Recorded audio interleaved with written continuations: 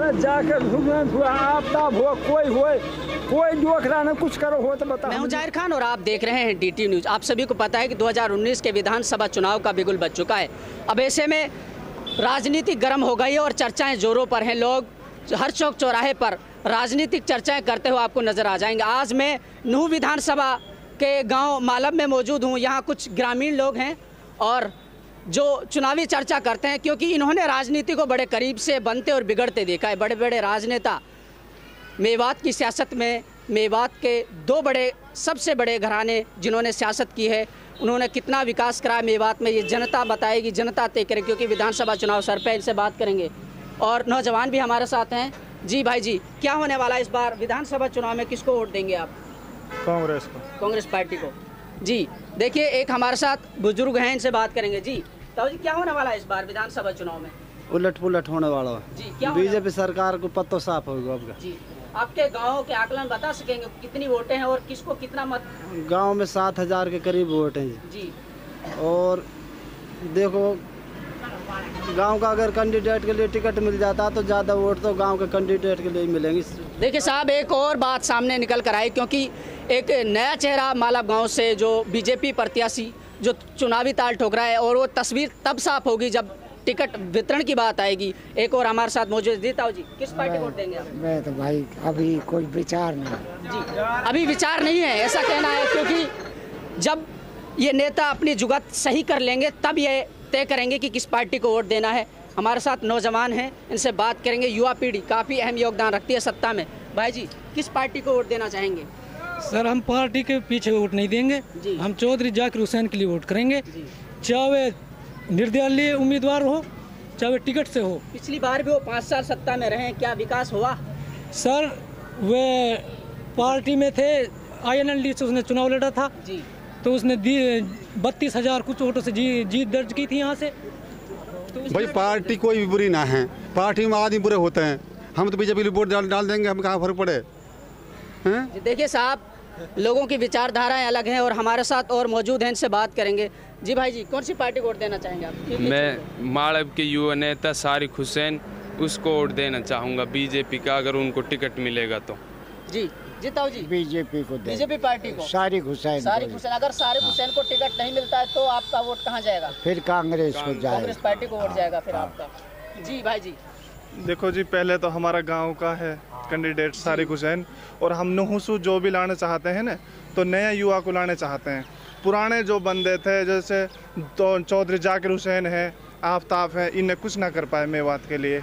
और न हम तो इसे जो कोई नया बंदा आएगा उसके लिए हम वोट करेंगे। देखिए साहब, युवाओं का कहना है कि इस बार हम बदलाव चाहते हैं और जो युवा युवा नेता को देखना चाहते हैं, क्योंकि विकास के नाम पर जो पुराने राजनीतिक घराने रहे उन्होंने सिर्फ़ वोट बैंक की राजनीति की है, उन्होंने एक क्षेत्र का विकास नहीं कराया, मेवात का हमेशा से शोषण होता रहा है, ऐसा युवाओं का दुख और दर्द छलक रहा था और मेवात के जो युवा है, ख़ासतौर से युवा पीढ़ी, वो हमेशा अभी भी बाट जो रही है विकास की और रोज़गार की कमियाँ हैं। इंडस्ट्रीज़ एरिया नहीं है। मैं लगातार आपको दिखा रहा हूँ, कुछ और हमारे साथ विधानसभा चुनाव के फिर ठीक पहले, क्योंकि नूह विधानसभा क्षेत्र की अगर बात करें तो यहाँ रोचक मुकाबला होने वाला है।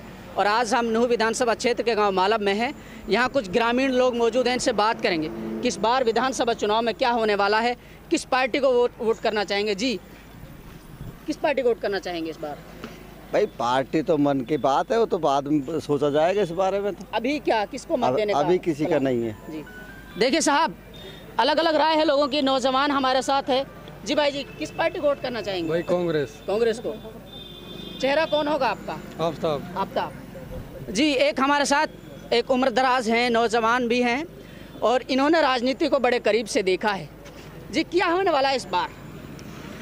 ये तो कुछ नहीं कह सकते क्या होता है। बाकी ये है जो दो घरानों के बड़े सियासी खिलाड़ी इस बार मैदान में हैं कौन जीत हासिल करेगा? यहाँ से। अब यहाँ तो टिकट के पास है नहीं बीजेपी की टिकट किसने मिलता है? अगर जो न्यू नया चेहरा जो गाँव से निकल रहा है उसको अगर टिकट नहीं मिल पाता है तो फिर किसको वोट जाएगा? फिर कांग्रेस कांग्रेस पार्टी को। अगर नया चेहरा आया तो फिर हम अपने नया वाला जो अपना कांग्रेस के कांग्रेस पार्टी को जाएगा जी। भाई जी बताइए। कांग्रेस कांग्रेस पार्टी को जाएगा चेहरा कौन होगा? आफ्ताब। आपका जी एक और हमारे साथ बुज़ुर्ग हैं। जी ताऊ जी बताइए क्या होने वाला है इस बार? इस बार विकास का काम तो करा कांग्रेस ने और कांग्रेस को ही उठ जाएगी यहाँ से? गाँव में कितनी वोटें हैं? हमारे नहीं साठ छः हज़ार के आसपास होगा। देखिए साहब लोग बता रहे हैं कि इस बार जो कांग्रेस ने जितना विकास कार्य पिछले दस साल में कराया बीजेपी ने कहीं तक नहीं कराया और हमारे साथ मौजूद हैं इनसे बात करेंगे। जी किस पार्टी को वोट करना चाहेंगे आप? अभी तो कोई मूड नहीं आज हमारा। अभी आपने फाइनल नहीं किया? भाई कोई फाइनल नहीं। जी देखिए लोग भी समझदार हो गए हैं जैसे नेता अलग अलग पार्टियाँ बदल रहे हैं और जिस तरीके से हम देख रहे हैं हमारे साथ एक नौजवान हैं इनसे बात करेंगे। भाई जी इस बार विधानसभा चुनाव में क्या होने वाला है इस बार? इस बार विधानसभा चुनाव में कांग्रेस जीतने वाली है सौ परसेंट। जी। आप एक नौजवान हैं पढ़े लिखे हैं। क्या मेवात के युवाओं को हक मिल पाया है पिछले पाँच साल के कार्यकाल में? नहीं कोई हक नहीं मिल पाया है। देखिए सालब गाँव के मौजूद लोग यहाँ मौजूद हैं। ये वो बुज़ुर्ग हैं जिन्होंने हर सियासत को देखा है और काफ़ी अरसे से देखते आ रहे हैं। मेवात के हर सूरत को इन्होंने देखा है। दिशा बदली है या नहीं बदली ये भी इन्होंने बदस्तूर देखा है। मेवात का विकास हुआ है कि नहीं हुआ है? और किन किन राजनीतिक घरानों ने यहाँ सियासत की है? इनसे बात करेंगे। जीताऊ जी इस बार क्या होने वाला है? किस पार्टी को वोट देंगे? भाई कुछ पता ना है या बात की तो। और फिर एक बात बता आप कह रहा हूँ बदल लो कुछ ना बदलो कहाँ बदलो भी कुछ नहीं बदला। कुछ कहा बदलो वहाँ बता हम कहाँ बदलो? जाकिर हुसैन भी यहाँ से रहे कुछ नहीं हुआ कुछ नहीं हुआ। अरे जाकर हुआ हुआ आपदा हुआ कोई हुए कोई जोखरा ना कुछ करो हो तो बता हम लोग। देखिए आप दुख दर्द समझ रहे हैं यहाँ के बुज़ुर्ग लोगों ने ब... इनका कहना है कि विकास नहीं हुआ यहाँ मेवात का शोषण हुआ है। और ये आप देख रहे हैं कितने खफा हैं। जी एक चाय की चुस्की के साथ एक बुज़ुर्ग हमारे साथ हैं। जी क्या होने वाला है इस बार? भाई मुझे कहावत कहाँ होना किस पार्टी को वोट देंगे आप? बीजेपी लो। बीजेपी को। आपके गाँव में कितनी वोटें हैं?